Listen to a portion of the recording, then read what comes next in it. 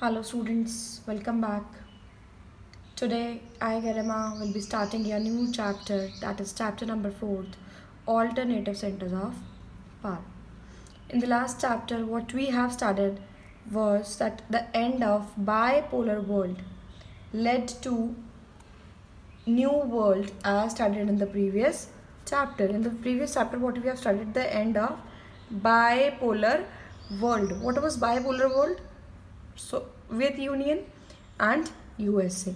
But after the end of Soviet Union, after the end of Soviet Union or the disintegration of Soviet Union, a new world established there. Fine. And then we started US hegemony. क्योंकि पूरे world में और कुछ नहीं हर तरह से सबसे ज़्यादा स्ट्रॉन्ग कौन है यूएस कौन है तो अब उस चैप्टर को एक क्वेश्चन पर हमने छोड़ा था कि कैन हेगेमनी भी ओवरकम तो ये उसका आंसर ही है ये chapter basically that yes alternative centres of power are there and it is easy to overcome the hegemony so when Soviet Union collapse there was no alternative centre of power but after that three alternative of power were found basically the end of bipolar world led to new world order hegemonized by USA in early 1980, 1991. Sorry. With the disintegration of Soviet Union, there was no alternative center of power. With time, it was realized that only alternative centers of power could put a restraint on American dominance कि कोई और चीज़ भी नहीं रोक सकती America को only uh, some other option can uh, need need to be found out. Gradually in Europe, the European Union तीन alternatives बताए सबसे पहला यूरोप के अंदर the European Union and in Asia the Asian Association of South East Asian Nations emerged as reckoning forces. These two emerged before. Both these organizations have evolved as regional solution to their historical animosities and weakness, basically.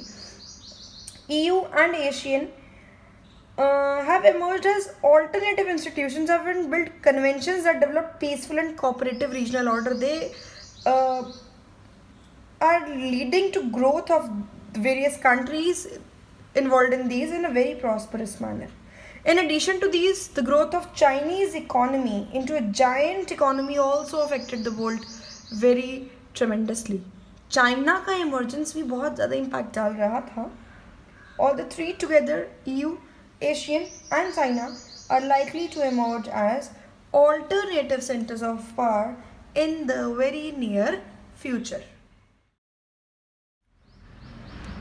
In this lecture, we will only talk about EU, that is European Union. What is European Union? European Union is a political and economic union of 27 member states that are located primarily in Europe. 27 member states. ध्यान रखने वाली बात है total area acquired जो है EU के द्वारा that is forty two lakh thirty three thousand two hundred fifty five kilometre square population is four forty seven million approximately headquarter it has its headquarter in Brussels Belgium tenth class में पढ़ा था ना Brussels किसमें? Power sharing chapter जब हमने पढ़ा था तो उसके अंदर ब्रूसल्स का एग्ज़ाम्पल बेल्जियम का एग्ज़ाम्पल लिया था ना तो ये वही ब्रूसल्स जहाँ पर ई e का हेड क्वार्टर बना हुआ है। ट्वेंटी सेवन कंट्रीज़ की बात की जा रही है। कितने मेंबर्स हैं? ट्वेंटी सेवन मेंबर स्टेट्स कौन कौन से हैं? Austria Belgium Bulgaria Croatia. Next आया Czech Republic Republic of Cyprus Denmark Estonia Finland France Germany Greece Hungary Ireland Italy Latvia Lithuania Luxembourg Malta Netherland Poland Portugal Romania Slovakia Slovenia Spain and Sweden. सब countries के names mentioned हैं। Governmental types की बात करूँ तो यहाँ पे twenty one countries republics हैं और सिक्स कंट्रीज़ मोनार्कीज़ हैं। मोनार्की तो पता ही है हमें रूल ऑफ़ किंग और क्वीन अगर इसके अंदर मेंबरशिप की बात करें तो membership is open to any country within a democratic government any country जिसकी एक डेमोक्रेटिक गवर्नमेंट है। A good human rights record human rights का रिकॉर्ड अच्छा and sound economic policies the economic policies are also really good and the basic aim of EU is to establish European citizenship, ensure freedom, justice and security, promote economy and social progress. Now I'll give you detail about European Union. With the end of Second World War, the end of second world war left the european leaders with the question or uh, the leaders were just grappling over the question that should Europe reverts its rivalries or new institutions need to be created. Second World War actually destroyed various assumptions and structures on which European hegemony had been built. In 1945, European economies were completely ruined. The war also devastated the assumptions and foundations on which the European economy was based. The Cold War after Second World War once again led to European integration. USA actually provided a massive economic revival program. Beta, please ध्यान रखने वाली बात है यहाँ पर that U S A provided with a revival programme of Europe a new collective security structure called nato was built up by built up in europe by usa the Marshall Plan led to establishment of Organization of European Economic Cooperation that is OEEC in 1948 to provide aid to Western European countries. OEEC emerged as a forum for trade and economic cooperation for European states. To foster economic and political cooperation, Council of Europe was also set up in 1949 uh, European states actually culminated in the formation of European Economic Community. That community was formed in 1957. I'm again saying the Council of Europe was what set up in 1949 in the process of economic disintegration of sorry economic integration of West European states culminate, culminated in formation of European Economic Community in 1957. EU then gradually evolved from an economic union into political union. Even though the uh, effects for a common EU constitution were not yielded, that, that was not possible to make a separate EU constitution.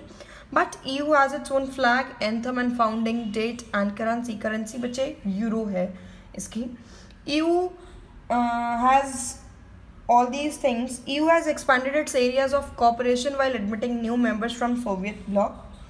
EU this shift however has not been smooth for several countries several uh, you know councils uh, it was difficult for them but eu has still been a considerable political military and economical diplomatical influential organisation flag है basically blue colour का flag है twelve stars बने हुए हैं इसके ऊपर जो Europe की यूनिटी को रिप्रेजेंट करता है उनके पॉलिटिक्स को उनकी हारमनी को रिप्रेजेंट करता है। Twelve stars twelve golden stars की एग्जिस्टेंस है ब्लू कलर के फ्लैग पर।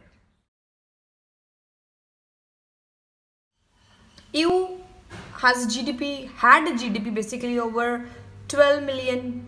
basically over twelve million trillion dollars sorry not million dollars it's 12 trillion dollars in 2005 and this is, was the biggest economy in the world surpassing even that of USA the currency मैंने पहले बताई euro is the currency and आने वाले time में this currency euro can be a great and a serious threat to hegemony of US dollar EU's share of the world trade is three times bigger than that of the US this gives US an opportunity to become more assertive in its trade disputes with China. The economic power, I'm talking about the economic power of EU, it gives EU the power to influence its neighbors as well as Asian and African countries. EU also functions as um, a member of international organization. EU का बहुत important role है कुछ organizations पे जैसे कि World Trade Organization जैसी uh, organizations जो हैं ईयू e का बच्चे एक डिप्लोमेटिक और पॉलिटिकल पावर और पॉलिटिकल इन्फ्लुएंस अच्छा रहा है। उसके मेंबर्स ब्रिटेन और फ्रांस जैसे जो मेंबर्स थे परमानेंट मेंबर्स रहे हैं वो यूएन सिक्योरिटी काउंसिल्स के। कई नॉन परमानेंट मेंबर्स जो हैं यूएस सिक्योरिटी काउंसिल के, वो भी इनफैक्ट ईयू के मेंबर्स बने। तो ईयू यूएस से तो बहुत ज़्यादा पावरफुल यहाँ पर रिप्रेजेंट हो रहा है। इससे क्या होता है, जब परमानेंट सिक्योरिटी काउंसिल के मेंबर हैं ना वो तो they can also have a part in making of US you know जो पॉलिसीज़ बनी है यूएस के लिए उसके अंदर भी बहुत इंपॉर्टेंट रोल प्ले कर सकती हैं। Use usage of economic investments negotiation and diplomacy have been better than its use of military मतलब मिलिट्री से ज़्यादा अच्छा इकोनॉमी को संभालने का काम यू कर रही है। और क्योंकि जो चाइना वगैरह डिग्रेडेशन जो इकोनॉमिक इन्वायरमेंटल डिग्रेडेशन के जो प्रॉब्लम्स थी उसका चाइना पे इसने जो डील्स की हैं उससे बहुत क्लियर होती है and if I talk about military Militarily, basically the combined EU forces are second only to USA. Its defense budget is also second only to US. Two EU members, that is Britain and France, have over 550 nuclear warheads. EU is even the second largest source of space and communication technology. EU as a supranational association has been able to exert influence in economic, political and social areas. However, at many times EU states are even at loggerheads in relation to foreign and defense policy. Here we can cite an example of Iraqi invasion where Britain and several newer members of EU joined the US coalition of willing states whereas France and Germany oppose the policy of Iraq last chapter में military जब हम hard पार की बात करें तो Iraqi invasion की बात की थी यूएस की तो ईयू के कुछ मेंबर्स जैसे कि ब्रिटेन और कुछ और नए मेंबर्स उन्होंने कहा था कि as we are with US और उन्होंने कोलेशन किया था, लेकिन जर्मनी और फ्रांस जैसे उन्होंने मना कर दिया था। Certain parts of Europe are even sceptical about Europe EU's integrationist agenda here we can have an example of British premier Margaret Thatcher, who kept UK out of the European market. बच्चे, एक बात और ध्यान रखने वाली ये है EU के बारे में, कि यू ने कॉमन करेंसी अपनाई थी किसको? यूरो को। लेकिन डेनमार्क और स्वीडन जैसी कंट्रीज़ ने क्या किया था? यूरोपियन करेंसी को ईयू को अपनी करेंसी बनाने से मना कर दिया था। इससे कि यूएस यू ईयू की जो एबिलिटी थी कि वो अपने ही इंटरनल इश्यूज़ और जो डिफेंस पॉलिसीज़ पे आ, कुछ रिस्ट्रिक्शंस लगाने वाला काम हुआ था ये। नेवर दिलेस यू हो सकता है कि EU is a role model for an alternative to U S hegemony near future पर मैं फिर से यू के टाइमलाइन के बारे में बात करूँ तो अगर अप्रैल 1951 में सिक्स यूरोपियन कंट्रीज़ जो France West Germany Italy Belgium Netherland Luxembourg इन लोगों ने यू ईयू बनाने के लिए ट्रीटी साइन की थी। ये को मतलब फाउंडर्स कंसिडर किए जाते हैं किसके? यूरोपियन यूनियन के। जनवरी 1973 में क्या हुआ? डेनमार्क और आयरलैंड ने और यूनाइटेड किंगडम ने यू को ज्वाइन कर लिया। और जून 1979 में डायरेक्ट इलेक्शंस हुए फ़र्स्ट यूरोपियन पार्लियामेंट को लेके। जनवरी 1981 में ग्रीस ने भी यू को ज्वाइन कर लिया। 1986 में जनवरी में स्पेन और पोर्टुगल ने भी यू को ज्वाइन किया। अक्टूबर 1990 में जर्मनी की यूनिफिकेशन हुई। जनवरी 1995 में ऑस्ट्रिया, फिनलैंड और स्वीडन ने ईयू को ज्वाइन किया। जनवरी 2002 में ईयू ने अपनी यूरो यूरो को न्यू करेंसी बनाया। ट्वेल्व कंट्रीज़ ने यूरो को अपनी करेंसी बना लिया। मई 2004 में 10 नए मेंबर्स सामने आए। Cyprus Czech Republic Estonia Hungary Latvia Lithuania Malta Poland Slovakia Slovenia इन सबने यू को ज्वाइन कर लिया। जनवरी 2007 में बल्गेरिया और रोमानिया ने यू को ज्वाइन किया और स्लोवेनिया ने भी यूरो को अडॉप्ट जुलाई फ़र्स्ट 2013 को एक बहुत इंपॉर्टेंट इंसिडेंट हुआ कि यू के 27 मेंबर्स थे। अब 28 मेंबर सामने आया क्रोएशिया कि। वे इसने यू को ज्वाइन करने की बात कही। जैसे ही टर्मिनोलॉजीज चेंज होने लगी, कुछ टाइम बाद 28 मेंबर्स की जगह फिर से 27 मेंबर्स रह गए। बिकॉज़ 2018 में ब्रिटेन ने फैसला ले लिया कि उसको यू को ड्रॉप करना है। यू का प्लान जो है यू से बाहर निकलना है।